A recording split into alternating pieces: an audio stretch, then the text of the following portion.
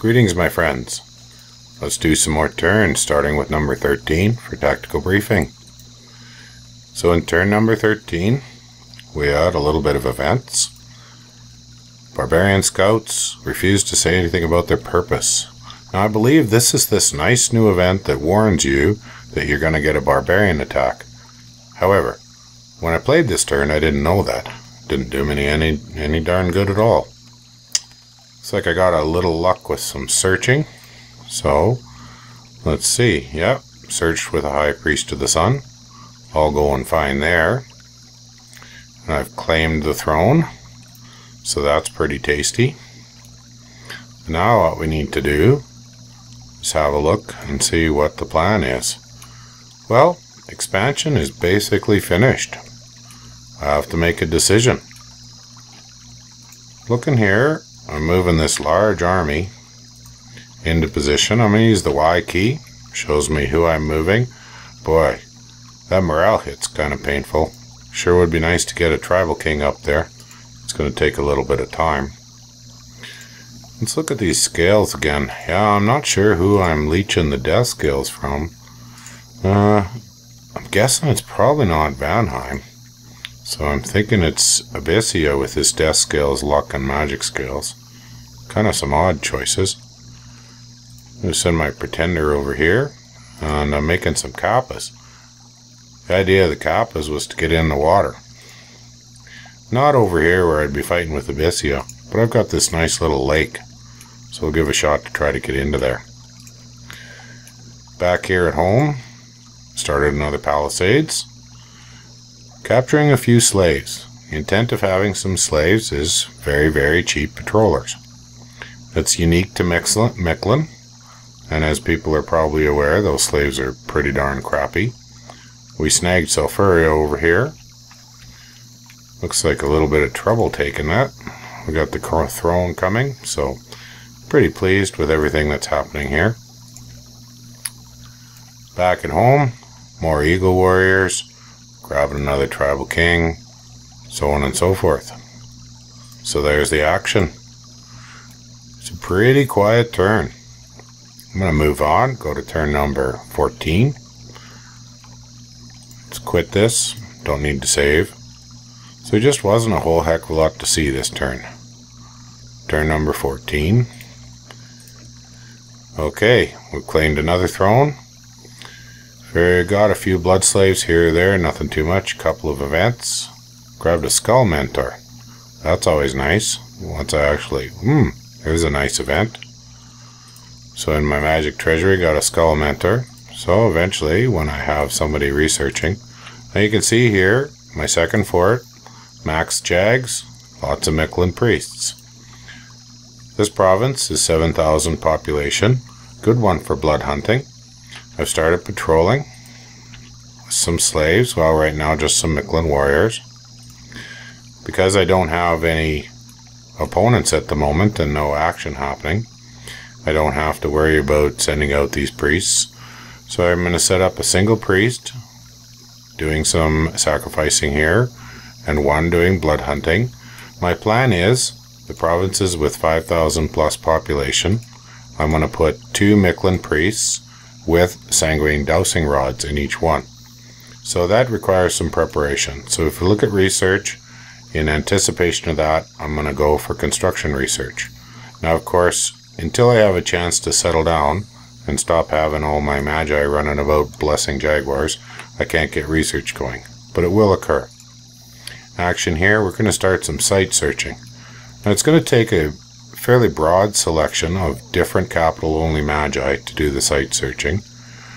And something you'll notice, every time I've got a bit of a gold crunch, say I'm building temples, forts, that sort of thing, I want to buy some Mictlan priests, but I do want to keep up my sacred recruitment, eagles or jaguars.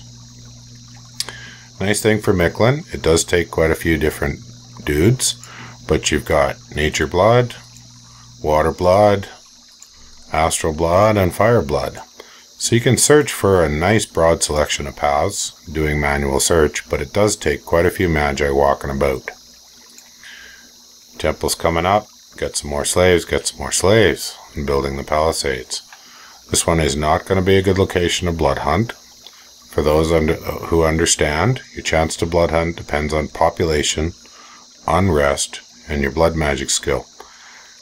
The population check is 100% at 5,000, and it drops off, it's a ratio below that. So here we'd be sitting at about 72% chance to successfully blood hunt. No, actually, I guess that would be 78. So not too bad, but why mess around with that? Just stick to the bigger provinces. With growth 3, hopefully, as my dominion spreads and the growth works, those provinces will move upwards. And since I'm planning to patrol, the patrolling will kill some population. Again, that's why growth 3 is very important. Sacrificing a little more action going on here. So, again, a pretty simple turn. Now, how many Kappas have I recruited so far? Let's take a look. Not enough. I'm going to need quite a few more if I'm going to try to take out these sea trolls. Now here, amber clans are evil. It's going to take something far more robust to take on amber clans. And back to planning for war, I have a choice of Sauromatia, maybe Caelum, or Vanheim. Let's take a look at statistics, see what might be the best target. Kind of hard to tell from here in statistics.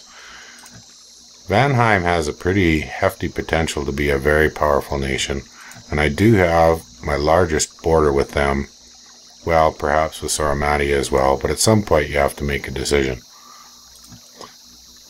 So, we'll see. Now, another key thing here you can see from the army chart, Sauromatia looks pretty tough. They do have Androphag poison archers, but with the throne I got with the poison defense, that might not be a major issue.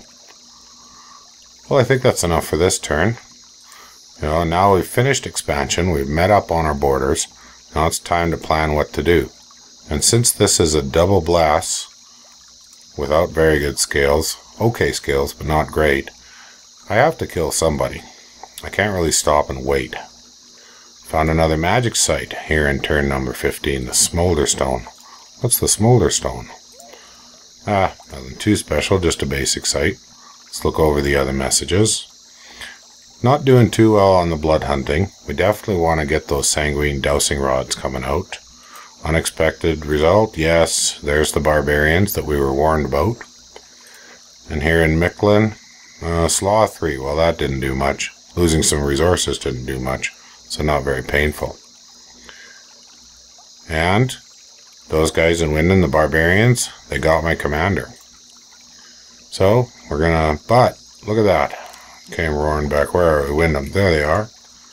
Well, I've got this squad here of jaguars being led by a high priest. Bring him back and take that province back.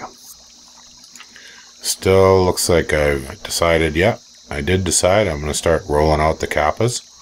Bring them forward, try for these trolls. Back here, the palisades will be done in one more turn. And I'm going to start doing some scouting. I found here a scout province, so I love having lots and lots of scouts. So I'm just going to stick that on repeat recruit recruitment and pour out the scouts. Back at home, recruitment. Trying to save some money, keep infrastructure going for now, so more Mictlan priests. They're always useful. You can always do things with them, and every once in a while you get a good random, like this here with Astral. In fort number two, recruitment's the basic, more priests. Run a little low on cash right now, but that's in order to get temple slabs and forts up. So nothing wrong with running a little bit of short of cash for buying maxed out Jaguars during a pause. You know, a pause in warfare. Sauromatia has shown that he's done no build up of forces on my borders Got some scouts tucked in through most of his adjacent provinces. Got some rivers happening. You can see these river crossings are closed right now with the heat. It is summer, so that's to be expected. More river crossings over here. Might be holding up Vanheim from his action. Scouts watching over what Vanheim's doing. So I'll have to make a decision in the next few turns. Okay, I can't think of anything else. If folks have questions, you know to post them on the comments section or find me at Dom4Mods. Thanks a bunch. Hope to see you in game.